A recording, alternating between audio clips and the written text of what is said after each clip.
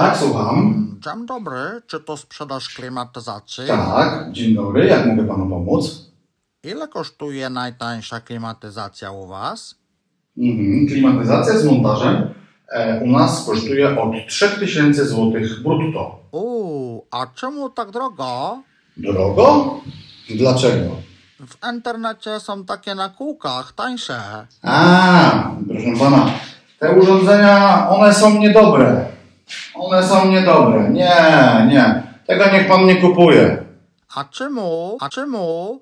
Yy, Ma Pan jakieś dowody? yy, Ale konkretne? nazywam się Przemysław Cyranik, jestem instalatorem i, i, i ja panu to udowodnię.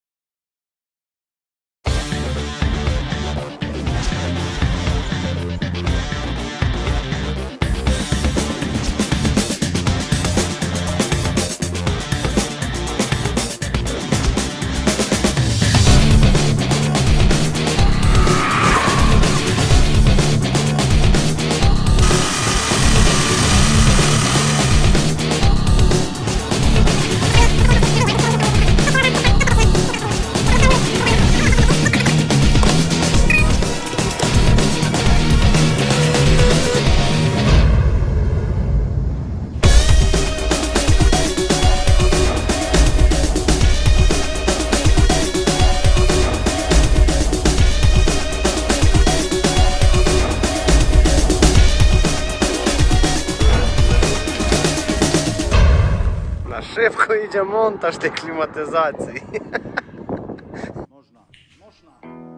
Cześć, witam. W dzisiejszym odcinku zrobimy sobie taki malutki teścik. E, przetestujemy dwa typy klimatyzatorów. Otóż y, monobloka, mm, który jest nazywany klimatyzacją przenośną oraz splita.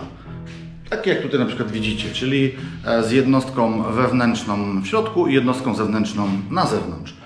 Jeżeli nie wiesz, jaką klimatyzację wybrać, e, wahasz się pomiędzy wyborem klimatyzacji monoblok, czyli przenośnej, a klimatyzacji typu split, to na dzisiejszym filmie postaram e, przedstawić Tobie wszystkie za i przeciw jednej i drugiej klimatyzacji, abyś mógł e, dokonać odpowiedniego wyboru.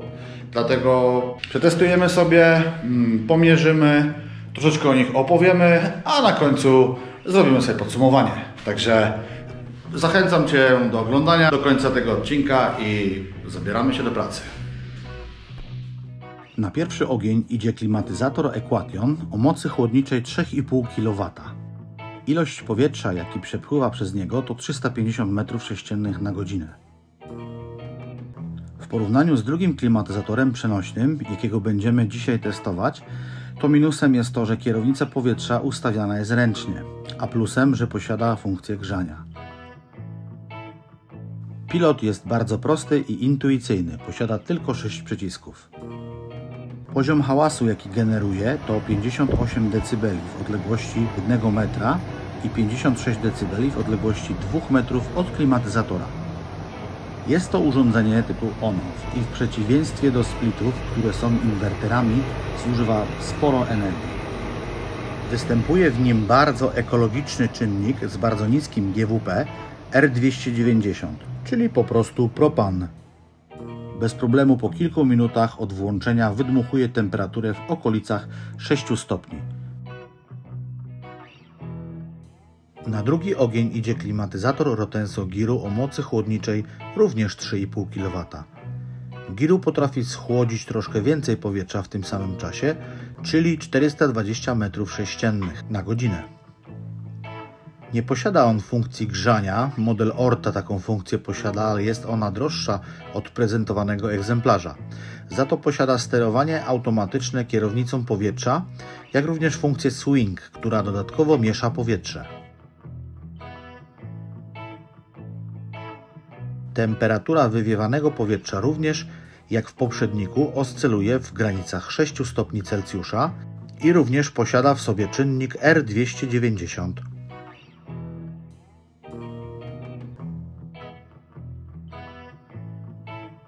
Jest tak samo głośna i tak samo prądożerna jak Equation. Pobiera ponad 1 kW energii z sieci elektrycznej, gdy jest załączona sprężarka. Gdy sprężarka jest rozłączona, schodzi do 50 W poboru. Poziom hałasu, jaki generuje, to 57 dB z odległości 2 metrów i 59 dB z odległości 1 metra od niego. Mamy już za sobą test tak zwanych monobloków, czyli klimatyzacji przenośnych. Teraz zabierzemy się za testowanie splita. Do testu zaprzęgłem poczciwego Kaisaja Fly o takiej samej mocy jak przenośne, czyli 3,5 kW. Jako, że posiadam uprawnienia SEP, pozwoliłem sobie do tego testu podłączyć klimatyzator przez wtyczkę, aby wykonać pomiary. No więc startujemy.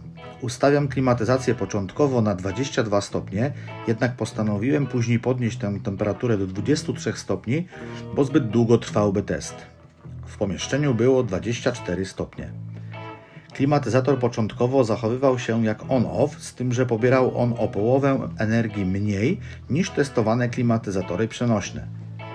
Temperatura wywiewanego powietrza spadała, aż w końcu zatrzymała się na 5 stopniach. Po 40 minutach, kiedy temperatura w pomieszczeniu spadła o 1 stopień mniej niż zadana, czyli 22 stopnie Celsjusza, pobór energii spadł w granicę 200 W. Początkowo myślałem, że sprężarka się rozłączyła, więc sprawdziłem temperaturę wywiewanego powietrza. Wynosiła 8,6 stopnia, więc sprężarka działała. Poziom hałasu na najwyższym biegu, jaki generowała jednostka w pomieszczeniu, to 44 dB w odległości 1,5 metra od parownika.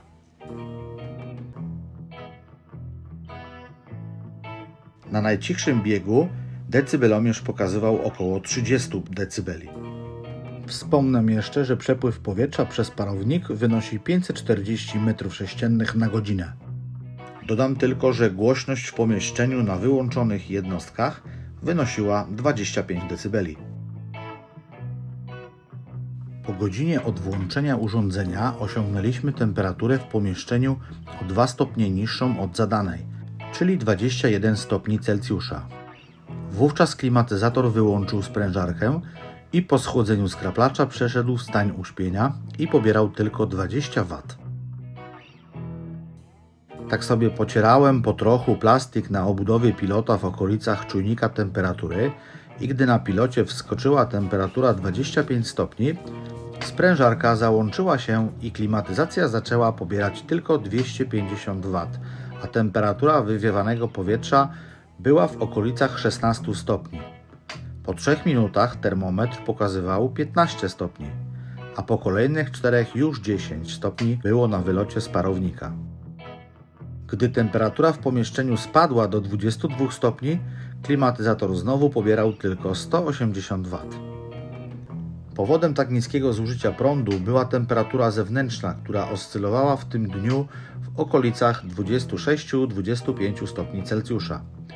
Gdyby temperatura była w wysokościach 30-35 y, stopni, na pewno wartość energii pobieranej byłaby większa. No więc podsumujmy. Plusy klimatyzatora przenośnego. E, na pewno jest tańszy. E, na pewno e, jest łatwiejszy w instalacji, no bo wystarczy tylko rurę wyrzucić na zewnątrz. Jest przenośny, czyli możesz go sobie zabrać, jakby to powiedzieć, nie wiem, do cioci na wakacje albo z jednego pokoju, na przykład ze sypialni do salonu i odwrotnie. Czy jeszcze jakieś inne plusy? Mm, no nie. Minusy klimatyzacji przenośnej. E, na pewno są głośne, na pewno są nieekonomiczne, prądożerne E, na pewno więcej muszą e, przemielić powietrzem, bo mają tak zwany bilans e, dodatni zasysanego powietrza. Owszem, istnieją klimatyzacje przenośne ciutkę droższe, które mają dwie rury, czyli czerpnie i wyrzutnie, ale y, no nie było teraz y, dostępu w tym teście do takiego urządzenia, ale tańsze po prostu mają tylko jedną rurę, czyli tylko wyrzutnię, a czerpią powietrze z wewnątrz. Plusy klimatyzacji typu split. Mm, Na pewno jest cicha. Mm, Na pewno nie zajmuje miejsca na podłodze. Mm, Jeżeli nie zajmuje miejsca, no może ją powiesić na ścianie, więc wówczas y, no, nie przeszkadza nam jakieś stojące urządzenie. E, Nie ma żadnych kabli, żadnych rur, czyli no, jest urządzeniem estetyczniejszym. E, Co jeszcze? No przede wszystkim jest oszczędne, bo jest inwerterowe e, w przeciwieństwie do klimatyzacji przenośnej, gdzie są to tak zwane on-offy. Jakie jeszcze plusy? No do plusów można chyba e, uznać, że e, jest ich dużo więcej modeli w przeciwieństwie do klimatyzacji przenośnych. Są różnokolorowe, są różnosprawnościowe, wielkościowe itd. itd. Minusy klimatyzacji split. E, Minusem na pewno będzie mm, cena, no bo są troszeczkę droższe, ale myślę, że to nie jest jakiś taki duży, konkretny minus. Minusem będzie również to, że samemu nie możesz je zamontować, tylko musisz wezwać yy, kogoś, kto ma odpowiednie uprawnienia. Yy, Jaki jeszcze minus? Mm, Wielu by powiedziało, minus jest taki, że y, klimatyzacja zamontowana w domu czy w mieszkaniu musi już tam zostać, bo jest trwale połączona. No, nie jest to prawdą, bo oczywiście, jeżeli będziesz się gdzieś przeprowadzał i tak dalej, no to można taki klimatyzator zdemontować. Oczywiście demontażu też musi dokonać firma, która ma uprawnienia i która się na tym zna.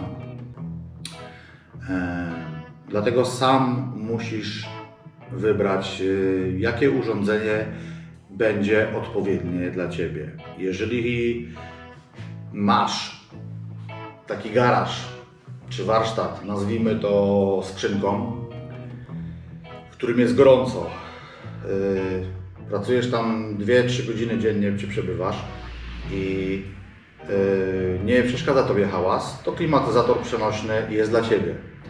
Jeżeli mieszkasz w domu wynajętym, gdzie właściciel nie zgodził się, aby zamontować klimatyzację, klimatyzator przenośny jest dla Ciebie. Jeżeli mieszkasz w budynku, gdzie klimatyzator zewnętrzny, znaczy jednostka zewnętrzna nie może wisieć, ponieważ yy, nie zgadza się konserwator zabytków, a nie przeszkadza Ci hałas albo z dwojga złego, czyli albo mieć hałas i chłodno, albo mieć gorąco i nie mieć hałasu, wolisz jednak hałas i chłodno, no to klimatyzator przenośny jest dla Ciebie. W każdym innym przypadku polecam Ci klimatyzację typu split, ponieważ no, jest oszczędna, e, jest ładniejsza, jest cichsza, dlatego same superlatywy, co tu więcej powiedzieć. No. Mam nadzieję, że ten odcinek pomógł Tobie wybrać y, urządzenie. Nie popełni tego samego błędu, którego ja kiedyś popełniłem. Ja kupiłem taki klimatyzator do swojej sypialni.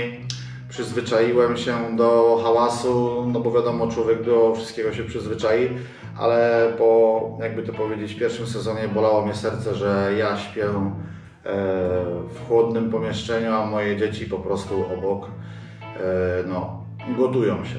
Mm, Dlatego, jeżeli masz możliwość wybrania splita, mm, to ja bym polecał Tobie splita. Y, To wszystko w dzisiejszym odcinku.